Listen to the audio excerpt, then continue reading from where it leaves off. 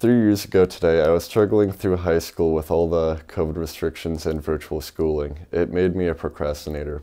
I would hand things in late or just never hand them in at all. Now, because of GPS I hand things in on time or early, but there are some hiccups every once in a while. Hi, I'm James A. Heiser, a student from West Bend School District. Because of the GPS Ed program, I am now better prepared for my future versus a traditional high school.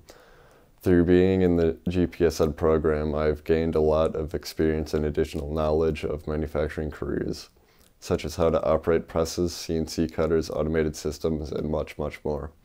I am proud of my on-the-job achievements and pushing through the many challenges along the way. I'm also proud of completing the four MSSC tests and becoming a certified production technician.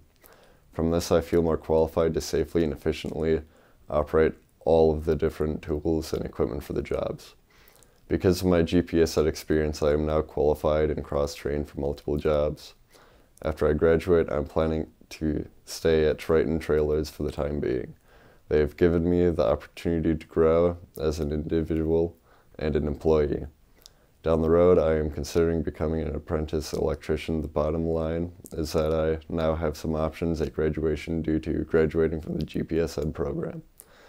Lastly, I'd like to thank my parents, my teachers of both GPS Ed and the West Bend School District, as well as many people that have trained me, the various business partners.